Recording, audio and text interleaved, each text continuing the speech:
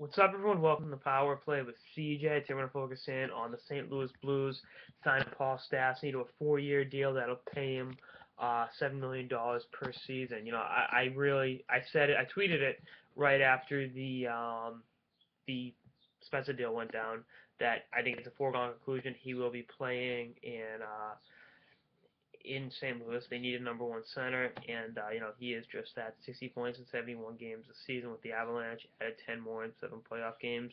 Uh, career high in goals is 28. Career high in points is 79. Um, so you know you're looking at a guy that I think will fit right in with St. Louis, and uh, you know definitely possibly get them over the hump in the uh, in the Western Conference and make them a you know perennial they are a perennial threat, but maybe he's that missing X factor. And you know, you, you join U.S. Olympians, Kevin Shattenkirk, David Backes, um, you know, T.J. Oshie. Uh, you know, those guys are you know there to lure him, and they they ended up getting him there. And you know, I think um, team that loses out on all this is Nashville. You know, they need a number one center. Spezza wouldn't go there, and um, you know the. Uh, you know, Stastny wanted St. Louis, and he got St. Louis. It's that simple. And um, you know, I think that looking at it from a hockey standpoint, he he made the right choice. Um, would he have gotten a little bit more from other teams? I think so. I think he probably could have gotten seven and a half. Maybe some stupid team would have paid him eight. I like Stastny, but I mean, you know, there's some peaks and valleys point wise. You know, 53 points in 2012, 57 in 2011.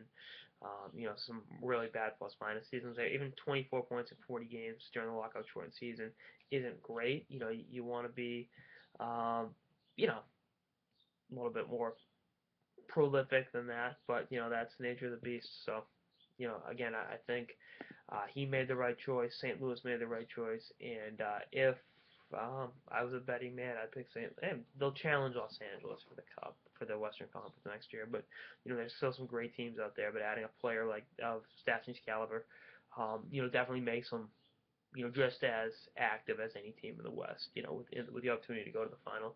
And uh, you know, I think it's St. Louis had his brother Yan's rights for a while, and they traded him to the Bruins. He, he was a scrub. That's the story of the Boston Bruins. Is if there are two brothers that make the NHL, they always get the bad ones, like Marty Howe. You know, same uh, same difference, but you know, we'll see. Uh, we'll see what happens uh, with Stastny and St. Louis. I'm curious to see where Hitchcock slots in the lineup. And will he regret leaving Colorado? I mean, there's some amazing young talent in Denver uh, with MacKinnon and you know Duchene and Landeskog and you know Riley guys like that. Uh, so learning, uh, you know, leaving that is going to be tough. And that's he, he's played hockey in Denver since his days at the University of Denver back in uh, I think 2005. He was a freshman 2004 and uh, you know I think that he's um, you know he could look back on it and say, eh, but you know I think they're a little bit closer in uh, in St. Louis to win the Cup. Never played a game in the AHL. Right from Denver to the Colorado Avalanche, and then he was a Calder finals that year, uh, 2006, 2007. He would have won the Calder, but Evgeny Malkin happened to have an amazing season that year. Anyway, that's got episode of the Power Play with CJ on the uh, Paul Stastny signing with St. Lu- the St. Louis Blues.